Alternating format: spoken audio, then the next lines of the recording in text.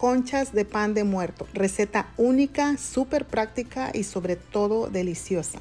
Lo primero que hay que hacer es preparar todos esos ingredientes que son para hacer el pan. Estos que son para hacer la pasta o la costra. Estos otros ingredientes que necesitamos tener a la mano y subirle a la calefacción de tu casa si vives en un lugar frío. Enseguida solo vamos a colar o cernir los ingredientes secos como es la harina, la azúcar y la levadura. La lista de los ingredientes que estoy usando, como siempre, la encontrarás escrita detalladamente en la descripción del video.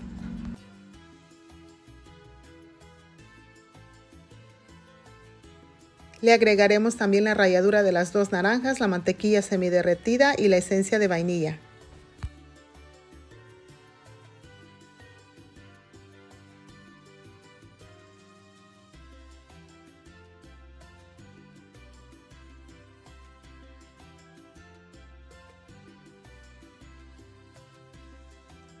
Después de aquí, sobre todo si estás usando un tipo de harina diferente a la mía, le vas a agregar el agua tibia poco a poco.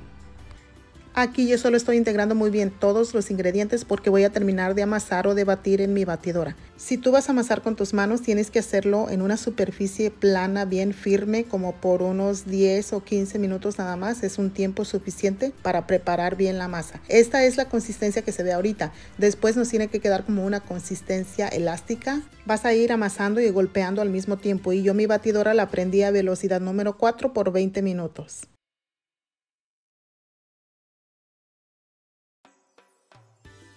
Una vez que ya terminamos de amasar, vamos a untar manteca vegetal en un traste de preferencia de plástico. Hacemos bolita la masa, le ponemos más manteca vegetal encima para que no se reseque.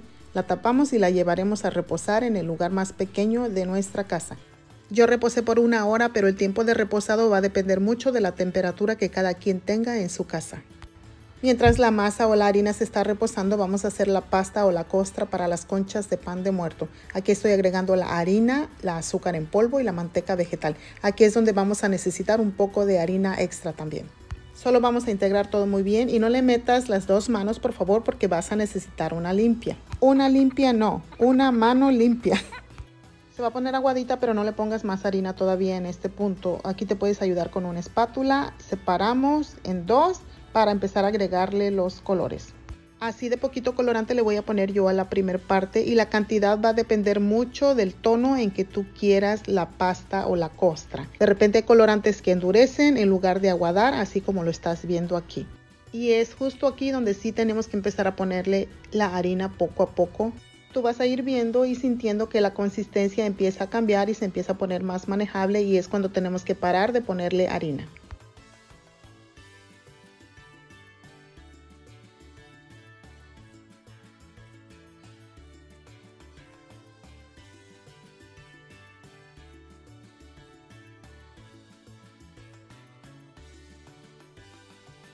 Se tiene que ver así más o menos y vamos a hacer exactamente lo mismo con el otro color. Después solo reservamos la pasta hasta que la necesitemos y untamos manteca vegetal en la primer charola que vamos a usar.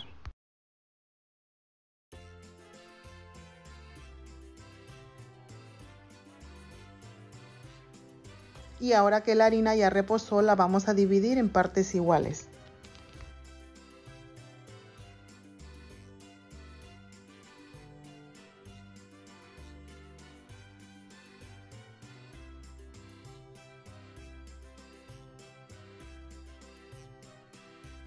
Si tú tienes báscula para pesar, está perfecto. Esta es la mía. Dejaremos una parte extra para hacer bolitas para los huesitos y la bolita que va a ir en el centro de cada concha. Aquí solo hay que sacar la cuenta de cuántas vamos a necesitar en total. A mí me salieron 10 conchas. No son mini conchas, no son conchas regulares. Es como un tamaño entre medio. Boleamos de esta forma y las iremos poniendo en la charola. Después les ponemos suficiente manteca vegetal encima para que se les pegue bien la pasta.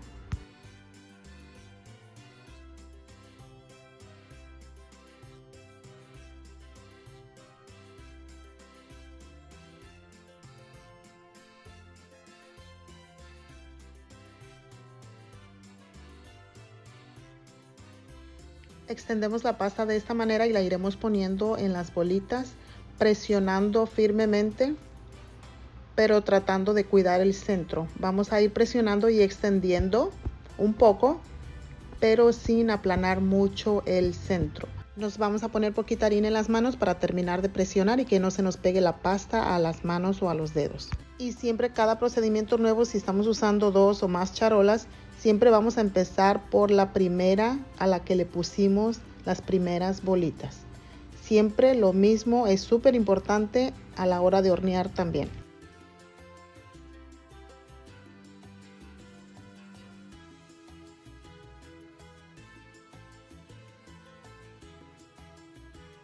Una vez que terminemos con el primer color es súper importante que nos lavemos las manos y limpiemos todo bien antes de empezar con el siguiente.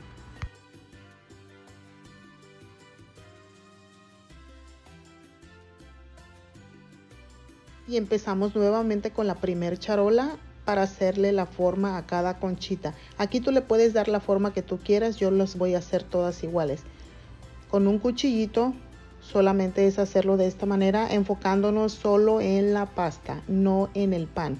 Vamos a calcular que solamente le hagamos las marquitas a la pasta.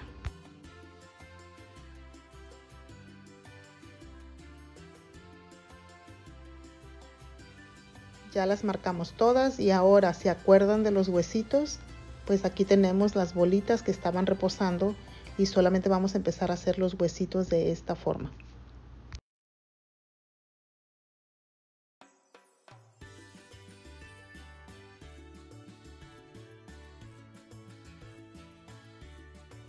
Medimos la tirita de huesitos en la concha y que quede siempre un poquito más grande que la conchita yo la voy a partir a la mitad, tú la puedes dejar entera si quieres. Solo asegúrate que si la dejas así como yo, pongas los huesitos un poco más juntos que como lo estás viendo aquí.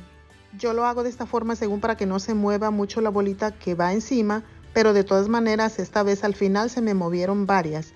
Así es que puedes hacerlo así al entero o separado como yo, pero ponlos más juntitos todavía. Y estos huesitos casi son pura decoración porque quedan por encimita casi.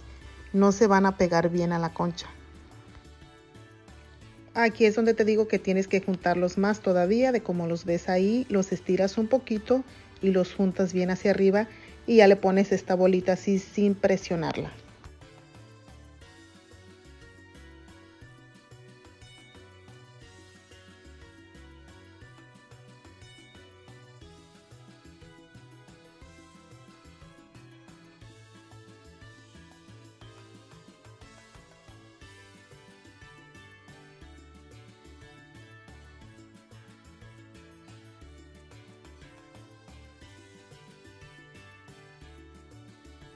Ya que las tenemos todas así, les pondremos un plástico dejándolo flojito y las llevaremos a reposar nuevamente en el lugar más pequeño de nuestra casa.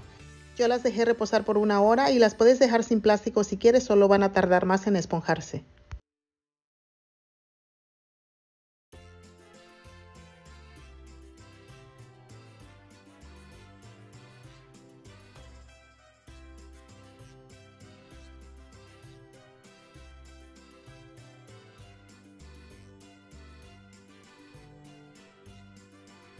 Ya cuando se ven así con la pasta abierta es cuando hay que precalentar el horno. Aquí ya habían reposado una hora. Voy a precalentar mi horno a 350 grados Fahrenheit y ya voy a poner la primer charola en la parrilla de en medio porque si la pones en la de arriba la pasta se tuesta y se le cae muy muy fácilmente. Yo voy a poner de una por una por lo mismo.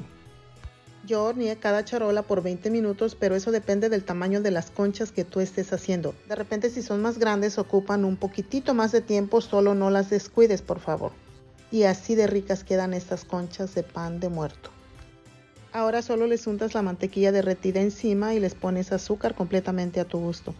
Y como les decía, así se les movieron las bolitas a varias y los huesitos también. Por eso es necesario que los junten más hacia el centro antes de ponerles las bolitas. De cualquier forma, con o sin bolitas movidas por los lados, estas conchas de pan de muerto saben y huelen riquísimo.